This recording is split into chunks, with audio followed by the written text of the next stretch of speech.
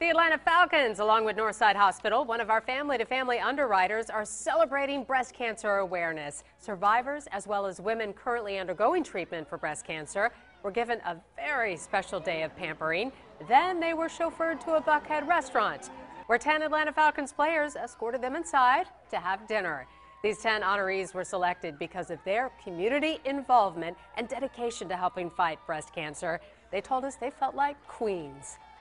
That has been truly a blessing. I've been touched by Northside in many, many ways. Um, we've been season ticket holders for 15 years, so that's a great marriage for me.